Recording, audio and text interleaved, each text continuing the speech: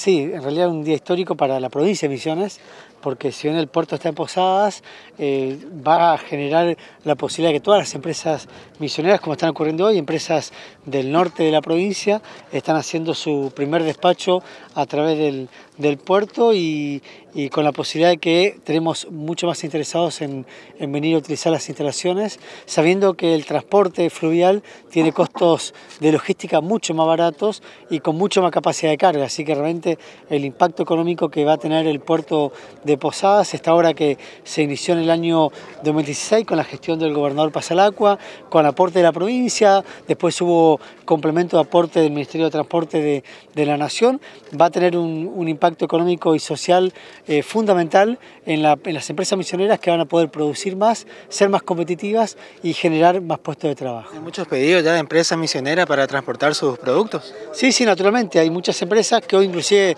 nos acompañan acá, eh, interesadas en comenzar a utilizar las, las instalaciones del puerto para comenzar a despachar su producción. ¿no?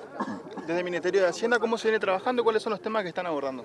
Bueno, en lo que fue este mes eh, hemos trabajado con lo que fueron paritarias de, algunos sectores, ustedes han visto, hemos acordado con, el sector docente, la paritaria para el mes de febrero, igual que para el sector de, seguridad.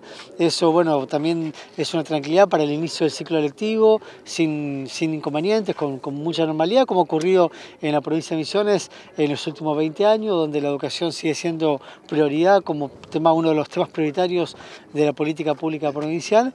Y así que bueno, eh, la verdad que en estas primeras semanas de febrero fueron los temas más importantes que le hemos dedicado. También seguramente en los próximos días tendremos ya novedades de las primeras entregas del programa Ahora Taxi, que ustedes saben que se anunció eh, hace un par de meses a cargo del, gobernador. Hemos firmado convenios con varios municipios y ya han aparecido los primeros interesados, con los cuales estaremos concretando las primeras operaciones del eh, recambio de unidades de vehículos afectados al servicio de taxis y remises.